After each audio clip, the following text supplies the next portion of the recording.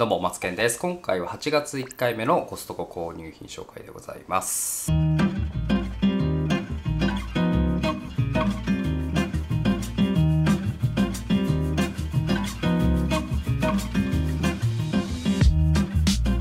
月1日から減量を始めてまして、まあそれにちなんだね、えー商品とあと長男と一緒に買い物してきたので彼のリクエストも拾いながらいろいろ買ってきたんでねそれらをまとめて紹介させていただきます。で各商品の詳細は概要欄の方にまとめてますので気になるものがあればチェックしておいてください。価格だったりね、えーまあ販売時点での情報になるんですけどよろしくお願いします。それではどうぞ。購入品1点目はこちら。カークランドの無塩ミックスナッツ。2398円で購入しました。お菓子コーナーの一角にですねこういったナッツの大容量パッケージっていうのが販売されてまして一番のお気に入りがこの無塩のミックスナッツですね。このボトルの中には5種類のナッツが入ってましてカシューナッツアーモンドピスタチオマカダミアナッツブラジルナッツね、えー今販売されている分はこの構成になってます。だいぶ前にこの商品出たんですけど出始めの頃っていうのはブラジルナッツじゃなくて、えーくるみやったかな。あ確かそんな感じだったと思うんですけど一旦リニューアルされてブラジルナッツっていうのが入りましてそこから多分ね変わってないと思います。減量企画をね、えーやりますってことで完食用に買ってるんですけど久しぶりやね。1年以上ぶりに買う感じですね。未開封だとここ内蓋がぴったりね入ってますのでこれがねなかなか綺麗に開けるのがね難しいんですよね。中はねこんな感じで蓋スレスレまでねナッツがぎっちり入ってます。割合的にはやっぱぱりカシューナッツとアーモンドですかね。ピスタチオはね、えー個数は結構入ってるんですけどサイズ的には小さいので。うん。あとはねマカダミアナッツとブラジルナッツですね。これらはま数的には少ないのかな。どのナッツが何グラム入ってるかっていうのは調べたことないんですけどね、えー印象としてはカシューナッツとアーモンドが多いかなという感じです。お皿の方に取り出してみました。5種類も入ってるんでね、えやっぱりこう見た目というかバリエーションがたくさんあるっていうのはいいですよね。これ久しぶりに食べるな。うん。うまい。うん。アーモンドカシューナッツピスタチオマカダミアナッツは食べ慣れてるってこともあってね美味しいですけどこのブラジルナッツですよねうんうんカークランドのブラジルナッツは美味しいです。食感はねマカダミアナッツのでかくてなんか味があんまりないバージョンっていうか。ブラジルナッツ味っていうのをねちょっと説明するのは難しいですけど食感はマカダミアナッツに似てると思います。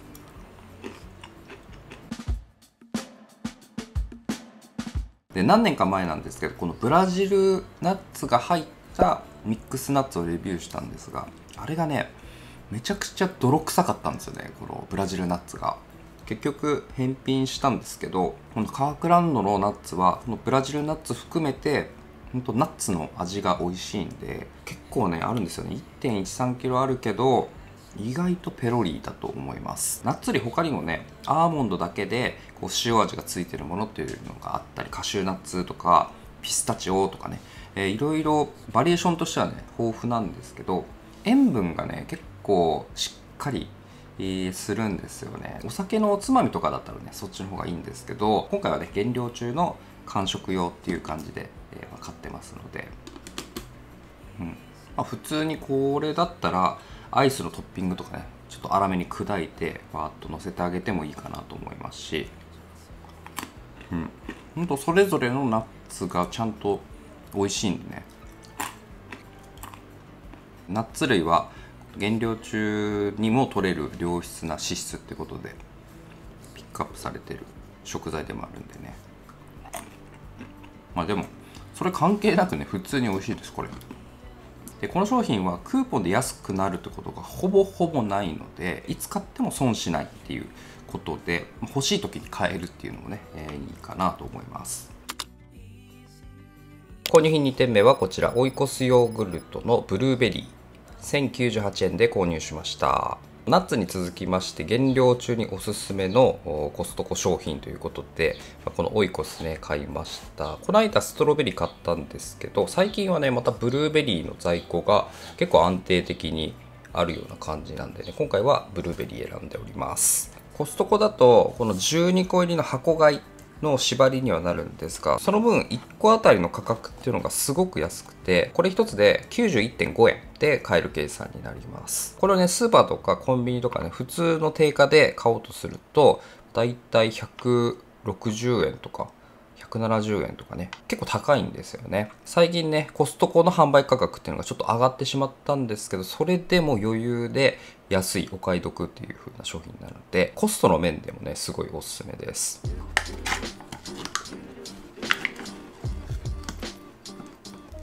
カップの底の部分にねフルーツのソースがたっぷり入ってますのでちゃんとこのブルーベリーのね粒が入ってるタイプのソースが入ってます。ブルーベリー久しぶりやな。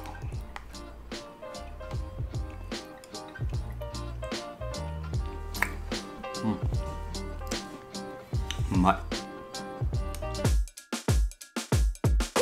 のオイコスヨーグルトのすごいところは低カロリーでマクロのこの数字が異常なんですよね。1カップあたり 113g 入ってて 92kcal でタンパク質が 10g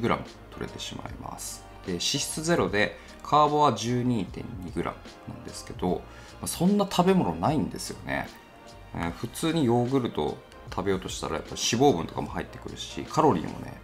この2桁で済むはずがないんですけどオイコスのヨーグルトはいろんな味があるけど大体数字的にはま同じような感じなんですよね。減量中でも安心して食べれるこのヨーグルトという感じです。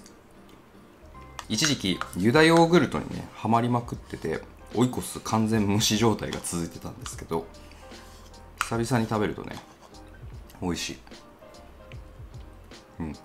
僕が普段買い物してる福岡の久山倉庫店ではだいたいストロベリーは販売されてて今だとブルーベリーが並んでるっていうような感じなんですが店舗によってね全然違います。取り扱いの種類が。北九州倉庫店だとプレーンの加糖プレーンの無糖も今ちょっとあるか分かんないんですけど大体ね4種類ぐらいねバーッと売り場に並んでましたね。久山ではストロベリーだけみたいな状況が結構続いてましてブルーベリーはね、えー、直近でも結構レアな存在っていう感じなんですけれども、うんまあ、箱買いにはねなりますけどすごくおすすめな食べ物なんでね、えー、これも原料とかまた関係なくおすすめなんですけど食べたことない方はぜひ食べてみてください。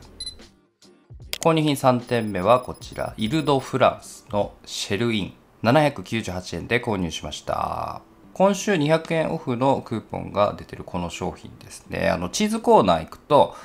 大体いつでも置いてるような定番商品なんですが、結構定期的にね、クーポン出る商品なので、まあ、クーポン出ると、買うという感じですかね。パッケージの中はこんな感じで、こういったね、シェルパッケージが20個入ってます。1個あたり39.9円ですね。ちょっと高いのか安いのかわかんないですけど、クーポンで買えてるんで、え、いつもよりかはお買い得になってます。コストコにはね、このイルドフランスのチーズ系の製品っていうのがね、いくつかあるんですけど、このシェルインが一番なんかおやつっぽい立ち位置ですかね。フランスのメーカーのものなんですけど、パッケージの情報はね、全部日本語で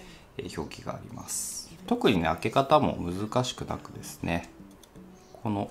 部分を広げるとこんな感じでね中身が出てきます。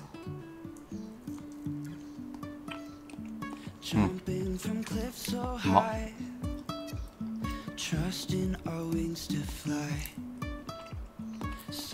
おいしい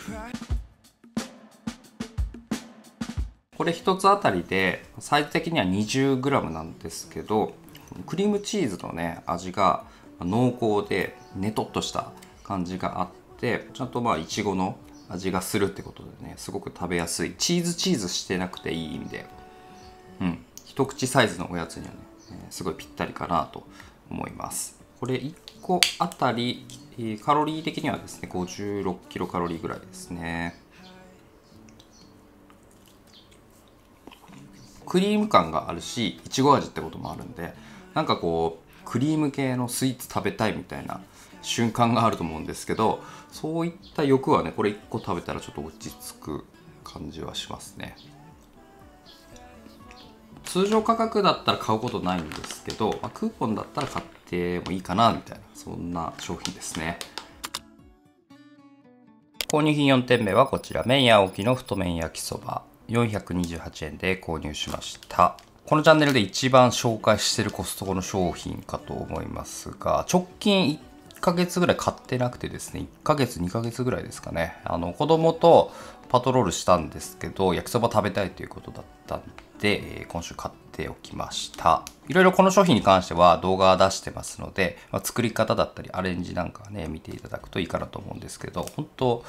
めちゃくちゃ美味しいんでね、えー、ぜひ買ったことない人は試してみてください。パッケージ裏面に基本的な作り方等の情報はね、イラスト付きで載ってるんですけど、このね、麺1に対して水 100ml っていうこの分量で作ったらですね、まあ、大体失敗すると思うんですよね。麺が伸びちゃうんですよ。水が多すぎてね。僕は麺系は大体仕上がり固めが好きなんで、ブヨブヨってならないように、この水分量をなるべくね減らして最小限にするようにしてます。半分以下でもね全然ちゃんと作れるんで片面派の方はねこの水 100ml っていうのはちょっと無視して作ってみてください。30ml もあったらね多分足りるんですよね。だいたいこういった焼きそば作る時って麺はこのもう冷えた状態固まった状態から鍋に入れて炒めながら水入れてほぐすみたいなそういった感じだと思うんですがそれやるとねこの麺っていうのはちぎれてねもうめちゃめちゃ短い麺の残骸みたいな焼きそばになっちゃうんでこの麺をね鍋に投入する前に電子レンジでねこの袋のまんま僕は 500W だと2分ぐらい1分を2セットぐらいして温めておきます。温めたらねこう袋の端を引っ張ったらね麺がこう勝手にほぐれてくれるんで麺全体が温まるとこの麺が切れずにね作れますんでその点ご注意ください。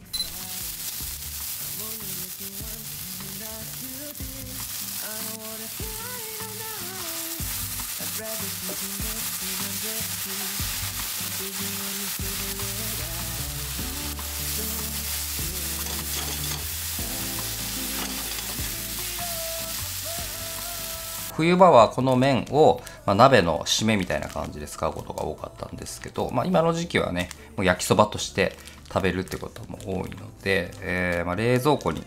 ストックしておくと非常にいい商品でございます。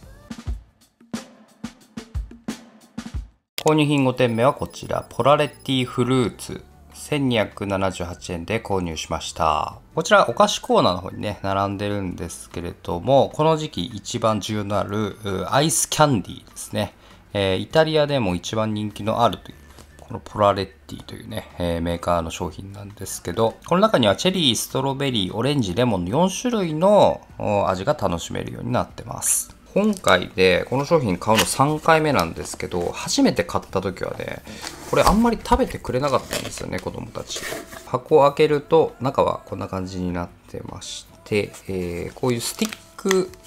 タイプというかあこういう縦長の個包装になってます。容量的にはこれ 40ml ですね。これが60本全部で入ってます。買ってきた状態だと常温のままなんでね必要な分だけ冷凍庫で冷凍させておくっていう準備は必要になりますがこれがね冷凍庫に入ってると結構ね、えー、心に余裕ができます。この時期は子供たちのアイスの消費量というのがとても増えるので、えー、何かしらこう準備しておかないといけないんですけど量的にもねこう多すぎず少なすぎずでちょうどいいです。この商品をね、初めて買った時は結構これ、どの味もね、酸味が強くて、ちょっとね、食べれなかったんですよね。食べきるまでにかなり時間を要したんですけど、まあ、上の子なんかはこの酸っぱさに慣れてね、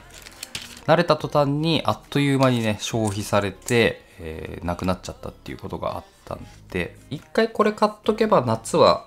あ越せるかなという感じですね。3歳、4歳のお子さんだと、ちょっと酸味が強くて、反応が悪いかもしれないですが、それ以上ですね、5歳以上ぐらいになると、結構食べてくれると思います。で、このポラレッティね、コストコで販売されてるのはこのパッケージのみなんですけど、なんかね、店内に貼られてる広告、このポラレッティの広告があるんですけど、別のね、フレーバーのパッケージもあるみたいなんですよね。そちの方が完全に美味しそうなので、これじゃなくてそっち、広告に載ってるパッケージを販売してほしいなと思います。ちなみに、まあ、ここにありますけど、着色料とか保存料は使ってませんよという記載はあります。購入品6点目はこちら、マッケインのシューストリングポテト。738円で購入しました。コストコの冷凍コーナーにはですね、大容量サイズのこういったポテトですね、えー、何種類かあります。3、4種類かな、あるんですが、ずっと昔から販売されているこのマッケインのシューストリングカットですね。えーまあ、いわゆるマックとかで、えー、売ってるような、あのこの細長いタイプのポテト。これね、ちょっと買ってみました。コストコの冷凍食品ってどれもね、業務用サイズというか、めちゃくちゃ量多いんですけど、トップクラスにね、これ多いですね。えー、2 k g このポテトが入ってます。パッケージ裏面の情報はこんな感じで、こちら半分は英語表記になってますけど、こっち半分はですね、きちんと日本語で全部情報が確認できるようになってます。作り方もね、オーブン、フライパン、揚げる方法ですね。一応目安でね、記載があります。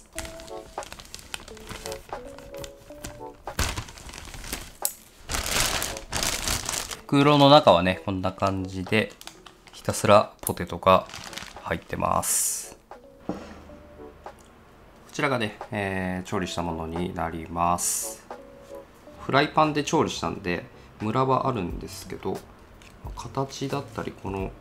サイズ感はマックのポテトと同じですね。うん。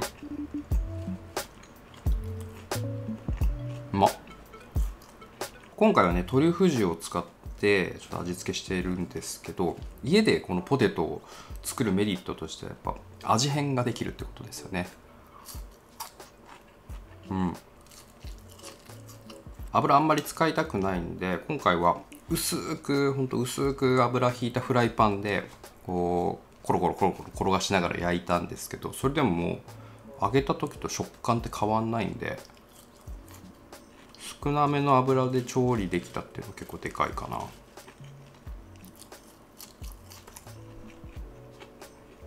うこれでいいやんポテトは。今回初めてこの大容量のねポテト買ったんですけどこれいいですね。保管場所の問題さえクリアできたら安いしね、えー、ストック食材としてはすごく便利そうな気がします。デフォルトの状態で味が入ってないんで自分好みの塩加減とかまあフレーバー系のね味付けもできるんでそれもいいですよね。こんだけ量あるけど